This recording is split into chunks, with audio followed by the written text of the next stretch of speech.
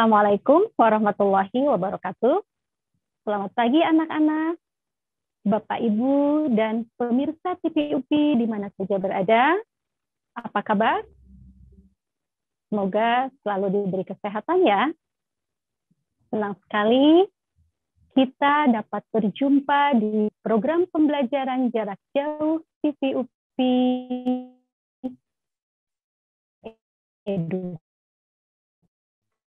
Edukasi generasi ini. Kan nama saya Ucu Siti Habibah akan memberikan materi pelajaran farmakologi kelas 11 farmasi mengenai penyakit sistem pencernaan. Pada materi ini diharapkan para siswa dapat menjelaskan jenis-jenis penyakit gangguan sistem pencernaan seperti gastritis atau gangguan lambung, konstipasi atau susah buang air besar, dan diare. Kemudian, siswa mampu menjelaskan pengobatan penyakit gangguan sistem pencernaan nanti akan dibahas golongan obatnya dan contoh-contoh obat penyakit sistem pencernaan. Yang ketiga, siswa mampu memilih obat-obat yang tepat untuk penyakit gangguan sistem pencernaan. Nah, untuk lebih jelasnya, kita akan mulai pembelajaran hari ini dengan menyaksikan tayangan berikut ini. Selamat menyaksikan.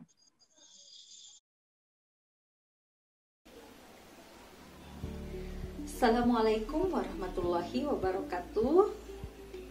Bagaimana kabarnya anak-anak kelas 11 farmasi? Bertemu lagi dengan saya Ibu Ucu Siti Habibah mengajar di kelas 11 farmasi mata pelajaran farmakologi.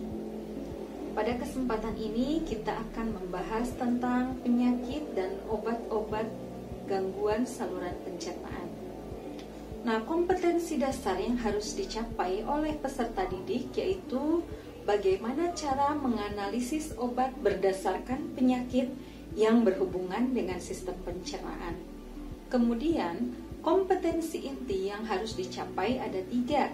Yang pertama, peserta didik mampu menjelaskan penyakit-penyakit sistem pencernaan seperti tukak lambung, diare, konstipasi, gangguan hati, batu empedu, dan kejang perut. Yang kedua, peserta didik mampu menjelaskan pengobatan penyakit sistem pencernaan. Yang ketiga, peserta didik mampu memilih obat yang tepat untuk penyakit sistem pencernaan. Penyakit-penyakit yang akan dibahas pada kali ini yaitu tukak lambung, diare, dan konstipasi. Untuk tiga penyakit lainnya akan dibahas pada pertemuan selanjutnya. Nah, yang akan dibahas pada penyakit tukak lambung, diare, dan konstipasi ini adalah apa itu pengertian dari penyakit-penyakit tersebut, penyebabnya apa, gejalanya seperti apa, dan pengobatannya seperti apa. Yang akan dibahas pada kali ini adalah tentang tukak lambung. Apa itu tukak lambung? Tukak lambung disebut juga dengan gastritis atau ada peradangan pada lambung. Kalau di masyarakat dikenal dengan mah, ya. Kalau di kesehatan bisa disebut ulcus pepticum pep, atau peptic ulcer. Apa itu tukak lambung? Luka yang muncul pada dinding lambung akibat terkikisnya lapisan dinding lambung Luka ini juga berpotensi muncul pada dinding bagian pertama usus kecil atau di duodenum serta kerongkongan atau esofagus. Apa yang menyebabkan terjadinya penyakit tukak lambung ini? Yaitu yang pertama adanya peningkatan kadar asam lambung. Bisa disebabkan oleh makanan, bisa disebabkan oleh minuman, atau bisa disebabkan oleh stres. Yang selanjutnya adanya penipisan pada selaput pelindung lambung. Yang ketiga adanya infeksi bakteri Helicobacter pylori di mana Helicobacter pylori ini dapat menyebabkan luka pada lambung yang lebih serius. Kemudian apa yang menyebabkan tukak lambung juga karena adanya penggunaan obat antiinflamasi nonsteroid. Obat-obat antiinflamasi nonsteroid sudah dibahas pada materi-materi sebelumnya. Itu akan mempengaruhi pada pengeluaran asam e, pada lambung dan juga akan e, menyebabkan penipisan selaput pelindung lambung. Penyebab Selanjutnya yaitu adanya stres. Ya, stres dapat menyebabkan meningkatnya kadar asam lambung. Bagaimana cara menghindari supaya tidak terkena tukak lambung? Ya, terutama kita harus bisa mengelola diri kita supaya tidak terkena stres, kemudian bisa menjaga pola makan dengan baik, kemudian tidak mem um, membiarkan lambung dalam keadaan kosong terlalu lama dan juga jangan makan terlalu banyak karena itu juga dapat memperberat kerja lambung. Kemudian hindari minuman-minuman yang menyebabkan kadar asam lambung meningkat seperti kopi, alkohol gitu ya. Kemudian yang bersoda, yang mengandung asam buatan ya. Minuman-minuman asam itu dapat menyebabkan meningkatnya kadar asam lambung. Gejala apa yang muncul e, ketika terjadi tukak lambung? Tentunya terasa nyeri atau perih di ulu hati gitu ya. Kemudian kurang nafsu makan, kemudian terasa kembung ketika perut kosong juga terasa perih, diisi juga terasa perih, kemudian sering bersendawa, mual dan muntah. Untuk pengobatan pada tukak lambung ini ada beberapa golongan obat. Yang pertama adalah obat golongan antasida. Obat golongan antasida ini ada yang berisi aluminium hidroksida dan magnesium hidroksida yang banyak beredar di pasaran. Ada yang berbentuk tablet, sirup dalam merek-merek tertentu. Nah, untuk yang berbentuk tablet yang isinya aluminium hidroksida dan magnesium hidroksida ini jangan ditelan langsung, tetapi cara minumnya harus dikunyah supaya obatnya bekerja mulai dari mulut kemudian ke kerongkongan dan ke lambung. Nah, obat ini harus diminum sebelum makan, yaitu 30 menit atau 1 jam sebelum makan.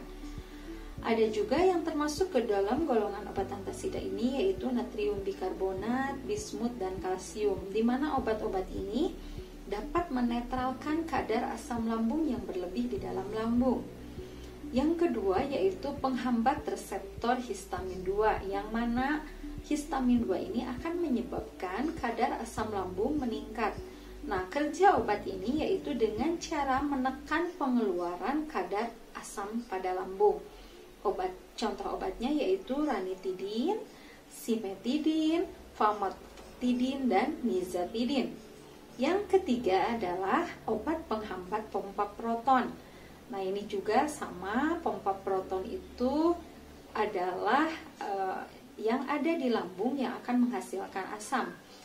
Sehingga kita membutuhkan obat untuk mencegah pengeluaran asam berlebih. Contoh obatnya yaitu yang termasuk ke dalam penghambat pompa proton atau PPI, pompa proton inhibitor yaitu omeprazol, pantoprazol dan lansoprazol. Yang keempat yaitu antimuskarinik selektif. Sama ini adalah untuk mengurangi pengeluaran asam pada lambung. Contoh obatnya adalah pirenzepin. Yang kelima, golongan obat untuk tukak lambung ini yaitu kelator senyawa kompleks di mana kelator senyawa kompleks ini obat yang dapat melindungi lapisan lambung. Contoh obatnya yaitu sukrapat. Ini sama obatnya sebaiknya diminum sebelum makan supaya lambung itu terlindungi gitu ya e, sebaiknya tadi diminum 30 menit sampai 1 jam sebelum makan. Kemudian yang terakhir ada golongan analog prostaglandin. Nah, analog prostaglandin ini obat yang dapat mengurangi kadar asam lambung. Contoh obatnya yaitu misoprostol. Nah, itu untuk penyakit tukak lambung. Penyakit gangguan saluran pencernaan yang kedua yaitu diare. Apa itu diare? Diare adalah penyakit di mana penderita mengalami rangsangan buang air besar yang terus-menerus dengan feses atau tinjanya itu memiliki kandungan air yang berlebihan.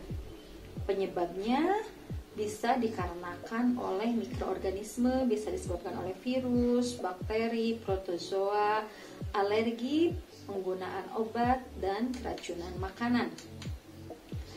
Nah, pada diare yang hebat itu, itu harus diperhatikan. Seringkali disertai dengan muntah-muntah dan kehilangan air dalam jumlah yang banyak yang dapat menyebabkan dehidrasi, yaitu kehilangan air dalam jumlah yang banyak. Nah, ini yang berbahaya apa gejala yang muncul ketika terjadi dehidrasi. Nah, ini harus diperhatikan ya. Ketika pasien itu mengalami haus yang sangat terus-menerus, kemudian mulut dan bibirnya kering, kulitnya menjadi keriput, kemudian berkurangnya air seni, menurunnya berat badan, kemudian timbul rasa gelisah, mengantuk, lemah otot dan sesak napas. Nah, ini harus secepatnya dibawa ke fasilitas kesehatan supaya diberikan pertolongan secepatnya, diberikan cairan untuk menggantikan cairan tubuh yang hilang. Bagaimana supaya kita tidak terkena dehidrasi ketika diare itu dapat dicegah dengan mengkonsumsi oralit atau ORS ya, oralit rehydration solution di mana isi dari oralit ini merupakan larutan dari campuran natrium klorida 3,5 gram, kalium klorida 1,5 gram, natrium trisitrat 2,5 gram, dan glukosa 20 gram dalam 1 liter air mata. Atau kita bisa langsung membeli oralit uh, dan diminum setiap habis buang air besar kita minum oralit supaya tidak terjadi dehidrasi.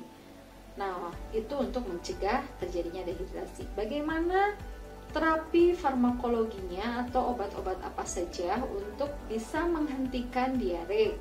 Yang pertama ada obat kemoterapeutik yaitu obat-obat untuk membunuh mikroorganisme penyebab diare. Contoh obatnya yaitu antibiotik, amoksisilin, ampicillin, kotrimoxazol, kloramfenikol, dan tetrasiklin. Tentunya obat-obat ini harus atas nasihat dan diagnosis dari dokter. Yang kedua adalah obat obstipasi. Obat obstipasi ini terbagi ke dalam tiga bagian. Yang pertama, obat penekan peristaltik usus. Contoh obatnya adalah loperamid. Kenapa harus diberikan obat penekan peristaltik usus? Dikarenakan diare itu terjadi karena gerak peristaltik usus yang sangat cepat sehingga fesesnya menjadi cair dan BAB terus-menerus.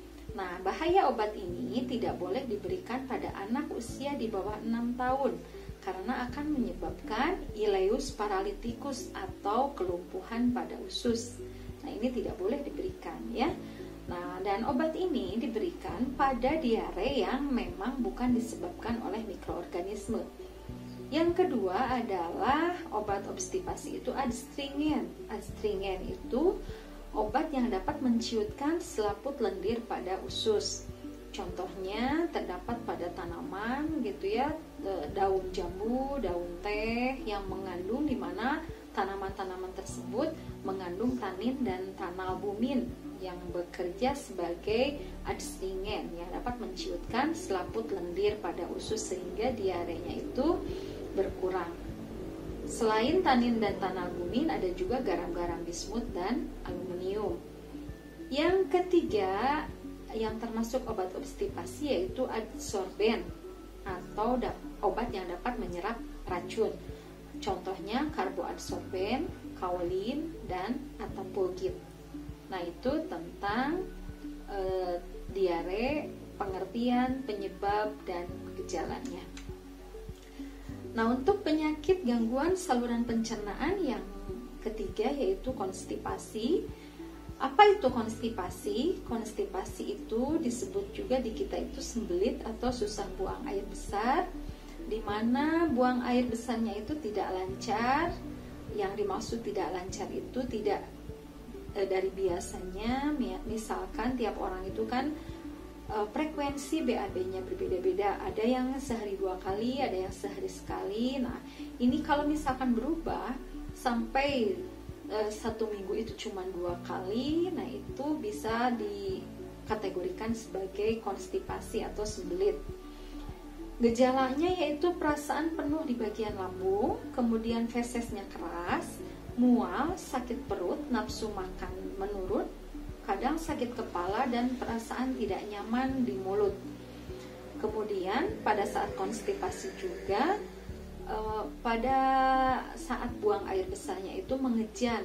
Mengejan itu eh, mengeluarkan fesesnya itu dengan susah gitu ya karena fesesnya itu mengeras. Nah, itu berbahaya apa yang menyebabkan konstipasi itu terjadi? Yang pertama yaitu kurang mengkonsumsi serat, di mana serat itu banyak terdapat pada hmm, sayuran, buah-buahan gitu ya. Kemudian penyebab yang keduanya yaitu kurang minum, tentunya minum air putihnya itu kurang, harusnya 8 gelas per hari. Kemudian karena adanya penyakit, penyakit yang dapat menyebabkan konstipasi misalkan karena ada sumbatan di usus, ada benjolan gitu ya. Kemudian karena efek samping penggunaan obat-obatan, ada beberapa obat yang memang dapat menyebabkan susah buang air besar. Contohnya morfin dan deripatnya karena adanya ketegangan emosi ya dan karena uh, kehamilan. Nah, itu penyebab-penyebab konstipasi. Bagaimana cara mencegah supaya tidak terjadi konstipasi? Ya tentunya kita harus banyak minum air putih, lebih banyak makan makanan yang berserat, sayurannya dikonsumsi lebih banyak serta buah-buahan, kemudian olahraga secara teratur. Tetapi jika dengan cara tadi tetap tidak sembuh bisa menggunakan obat-obatan. Nah, obat-obatan yang bisa digunakan ada empat golongan. Yang pertama adalah obat laksansia kontak. Obat laksansia kontak ini dapat mempercepat gerak peristaltik usus supaya air dari usus itu ditarik dan dapat e, memperlancar feses buang air besar gitu ya. Kemudian contoh obatnya apa? Obat langsensia kontak ini yaitu bisa kodil, ya daun sena, glikosida antrakinon. Kalau pada tanaman itu akar kelembak, oleum ricini, dan juga ada obat fenoftalin. Nah ini uh, obat langsensia kontak ini ada beberapa sediaan, ada yang tablet diminumnya lebih baik pada malam hari sebelum tidur. Gitu ya diharapkan pada waktu bangun tidur kita akan e, mudah dalam buang air besar. Ada juga dalam bentuk suppositoria nah obat suppositoria ini dimasukkan ke dalam anus ya 15 menit atau 10 menit sebelum buang air besar. Nah bagaimana cara e, memakai suppositoria ini? Kita masukkan suppositoria ini ke dalam anus kemudian jangan langsung ke belakang tetapi kita berbaring dulu sampai obatnya itu bekerja baru setelah 10 menit atau 15 menit baru kita ke belakang. E, yang kedua yaitu obat laksansia osmotis nah ini obat yang dapat memperbesar volume usus ya sehingga fesesnya itu mudah dikeluarkan Contoh obatnya magnesium sulfat, laktulosa, gliserol, dan sorbitol. Yang ketiga, zat-zat yang mengembang dalam usus. Nah, ini sama dapat memperlancar pengeluaran feses. Contohnya adalah agar-agar, berarti ini banyak serat ya. Metil selulosa, plantago, gums treculia, sayur dan buah-buahan yang banyak mengandung serat sehingga peristaltik usus akan meningkat dan akan mempermudah pengeluaran feses. Yang terakhir adalah zat pelicin atau emolien. Nah, ini yang dapat e, memperlancar e, BAB. Contohnya yaitu parafin cair dan larutan sabun. Nah, ini biasanya disemprotkan melalui anus supaya fesesnya mudah keluar. Nah, ini itu tentang penyakit-penyakit gangguan saluran pencernaan. Baru tiga ya, yaitu tukak lambung, diare, dan konstipasi. silahkan adik-adik pelajari dan cari obat-obat patennya yang banyak beredar di pasaran. Nanti minggu depan insya Allah kita lanjutkan tentang penyakit-penyakit gangguan saluran pencernaan yang lainnya. Dicukup, dicukupkan sekian untuk pertemuan hari ini. Semoga bisa dipahami